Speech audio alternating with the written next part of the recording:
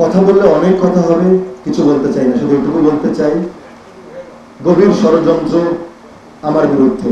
সামনে যদি শোনেন যে আমাকে কোনো মিথ্যে মামলা দিয়ে ফাঁসানো হয়েছে, তাহলে অবাক হবেন না, কারণ সেরকম ষড়যন্ত্রই আমার বিরুদ্ধে চলছে।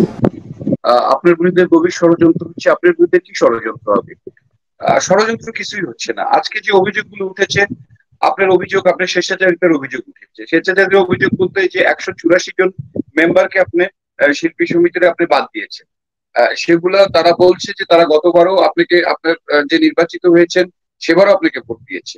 কিন্তু গতবার আপনি নির্বাচনে আপনি যেটা দেখেছেন, সেটা হচ্ছে যে আপনি যারা যারা আপনাকে আগামী নির্বাচনে ভোট দিবে না, এরকম আপনি দেখে দেখে আপনি এই একশো চুরাশি জনকে আপনি সমিতি থেকে তাদের বাদ দিয়েছেন। তো এইটা আপনার একটা স্বেচ্ছাচারিতা এবং আপনার এটা ব্যক্তি গত কারণে আপনি এদের বাদ দিয়েছেন ব্যক্তি স্বার্থে। এটা অভিযোগ উঠেছে। আপনার বিরুদ্ধে অভিযোগ উঠেছে, আপনি অনেকের কাছ থেকে, আপনাকে অনেকেই টাকা দিয়েছে, অনেকেই আপনাকে মেম্বারশিপের টাকা দিয়েছে, তাদের টাকা নিয়েছেন আপনি, নিয়ে তাদেরকে মেম্বারশিপ দেননি।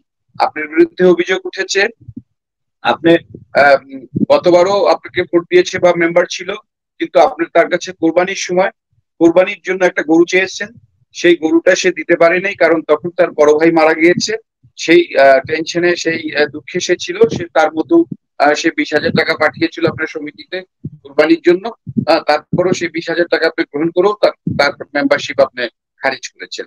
আপনার বিরুদ্ধে অভিযোগ উঠেছে, আজকেও বলেছে আপনার সে শিমু নামে একজন শিল্পী অভিযোগ করেছে। সে আপনার আপনার কর্তৃক সে মিসবিহেভের শিকার হয়েছে।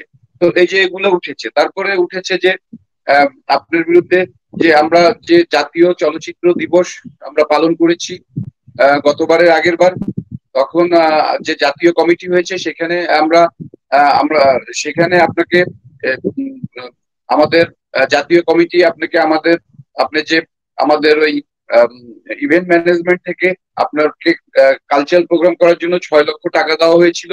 সেই ছয় লক্ষ টাকার থেকে আপনি সেই ছয় লক্ষ টাকা খরচ করেছেন, তার কোনো হিসাব দেননি। জাতীয় কমিটি, জাতীয় কমিটির কনভেনার ছিলেন আব্দুল লতিফ বাচ্চু সাহেব চিত্রগ্রাহক সমিতির সভাপতি।